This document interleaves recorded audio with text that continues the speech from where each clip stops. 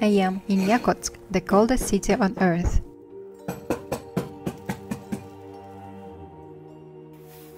Lionel is 11 years old and a student at a local primary school. It's Monday morning and he's getting ready for another day of school.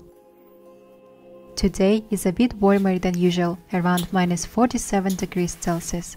Going to school in ice cold temperatures is normal for the children in Yakutsk.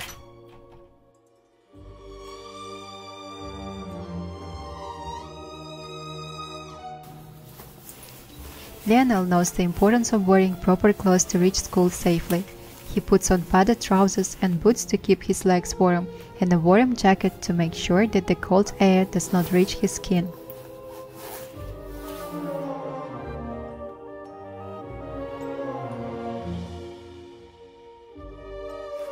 Lionel lives quite far from his school. It takes about 40 minutes to get there. He uses the public transport system since there are no school buses in the city.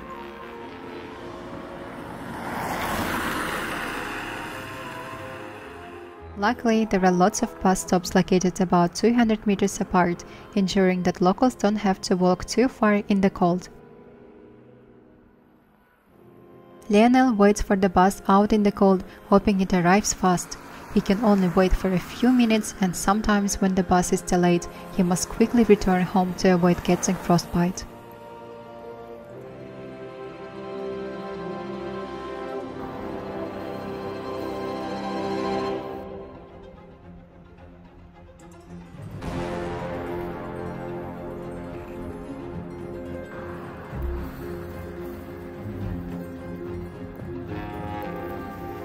Luckily, the bus arrives on time today and he gets on the bus on his way to school. In Yakutsk, the buses generally have heating system to keep passengers warm during the extreme cold weather. Now Lionel can finally feel comfortable and warm on his journey to school.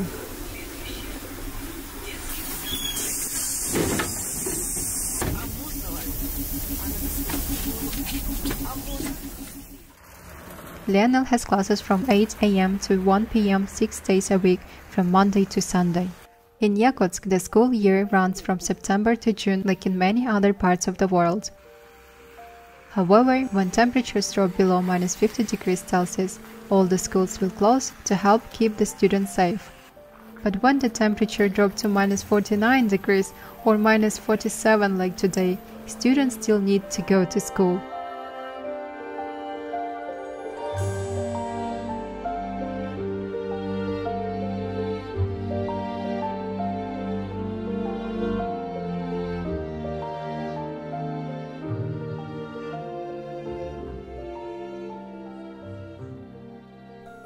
Lionel arrives on time. His first class of the day is a literature class, which is his favorite. At school, they learn three languages Yakut, Russian, and English. The Yakut language, also known as Sakha, is a Turkic language and is a native language of Yakut people. Next year, Lionel will move on to middle school in Yakutia, primary school lasts for 4 years and students study a total of 11 years before going to university. Gaining admissions to university can be very competitive, so students in Yakutia begin preparing for the crucial Unified State exam as early as middle school. Now we are talking about applying to university and would like to share some very special and that's its global admissions.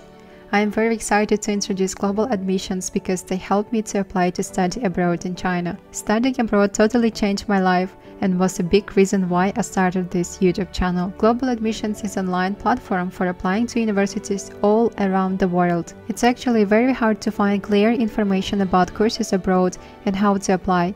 Global Admissions has huge choice, fast support, and it's also funded by universities, so applying to many universities can actually be free using the platform. If you're also considering studying abroad, whether it's bachelor, master, PhD, online or short-term programs, you can check out globaladmissions.com and viewers of this video can book a free call with the Global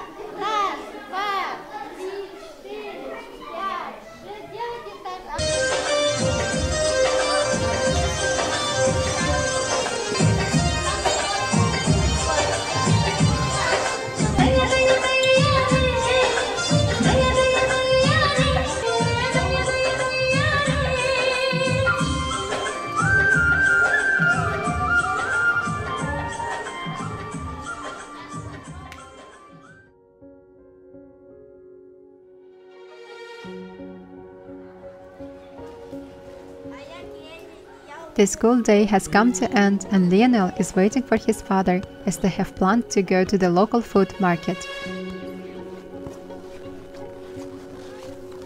Lionel is the middle child of three siblings and his father Prokopy is a football coach at a nearby club. They share a deep passion for the sport, often training and watching matches together. Lionel's enthusiasm for football has only grown stronger, thanks to his father's unwavering support and guidance.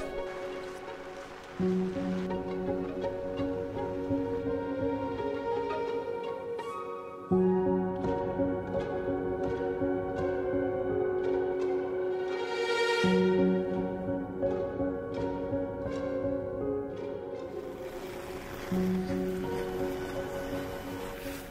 arrive at the local open air market to get some fresh meat and fish for their dinner. The meat and fish remain naturally frozen as the outdoor temperatures are even colder than those in the freezer.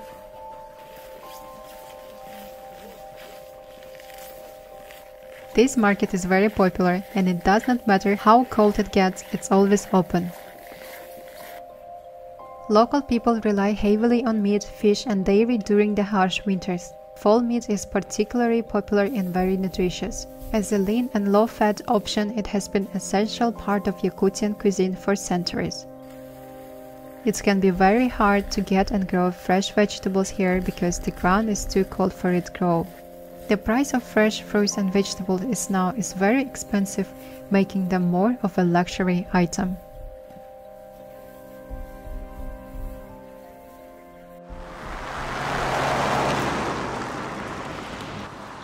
After a long day, Lionel and Prokopy return home. The evenings are the favorite time for the family as they can finally spend time together and relax after a long day.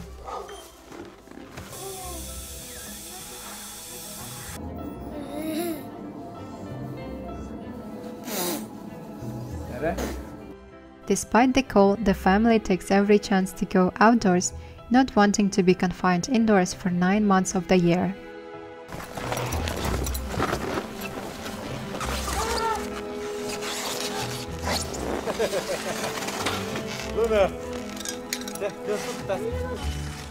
As you can see, we have learned to adapt and embrace the extreme climate, making the most of each day.